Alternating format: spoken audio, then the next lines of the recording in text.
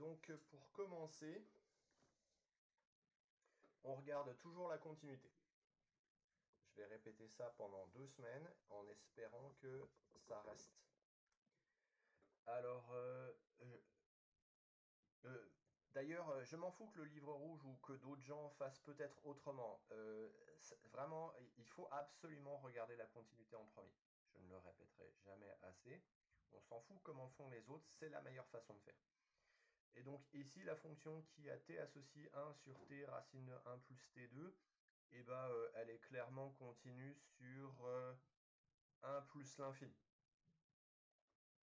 Et donc euh, ce que ça nous raconte ça, c'est que bah, du coup dans cette intégrale-là, le seul problème potentiel qu'on pourrait avoir, c'est-à-dire problème potentiel qui pourrait faire que l'intégrale diverge, il est en plus l'infini. Le seul problème qu'il y a, c'est là.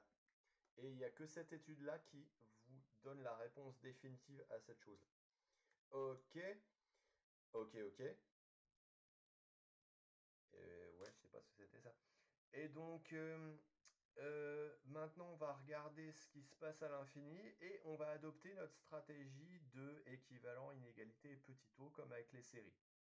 ici, on a une fonction qui est compliquée et tordue.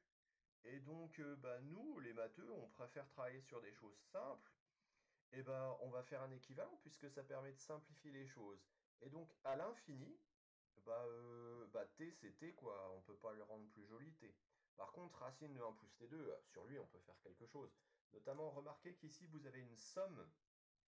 Dans les sommes, il y a le truc numéro 1 qui vous dit de, euh, qui vous dit de factoriser le terme dominant. Alors, je vais vous le faire en plusieurs étapes. On pourrait écrire par exemple que ça fait ça, ça fait 1 sur t donc je vais factoriser le t2 et il nous reste un racine de 1 plus 1 sur t2 si on factorise tout et ainsi de suite.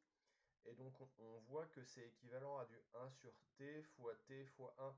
Autrement dit, cette fonction-là, elle est équivalente à du 1 sur t2. Ça veut donc dire que dans notre fonction ici, on a été capable de trouver un équivalent en plus l'infini, c'est-à-dire au point qui nous intéresse, et l'équivalent est strictement positif, parce que comme pour les propriétés sur les séries, il faut que notre équivalent ne change pas de signe. Et donc c'est le cas ici.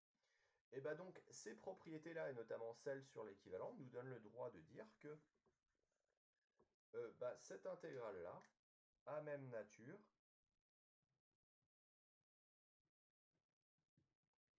que l'intégrale plus simple de son équivalent, c'est-à-dire l'intégrale de dt sur t2.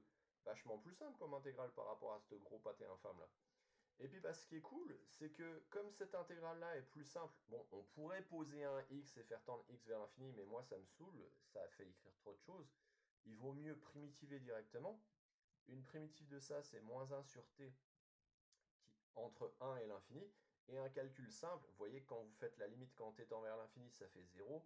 Quand vous faites la limite quand t tend vers 1, ça fait 1. Et bah donc on trouve que cette intégrale vaut 1, autrement dit elle converge et eh bah, cette intégrale a la même nature que celle-là qui converge, donc elle converge.